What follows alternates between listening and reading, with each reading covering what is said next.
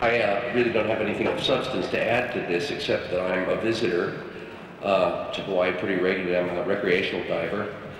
I uh, come here a lot of times a year, like a lot of other people do, spend money and have a good time, and I've dived the reefs in the Kona coast.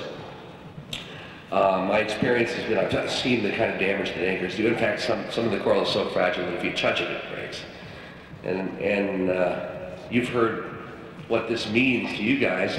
The only point of view that I have really is the point of view of a, another citizen of the United States.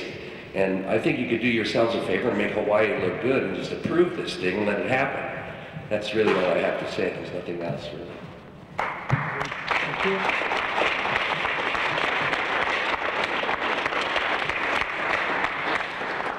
Luther Choquette. I would like to speak on three points.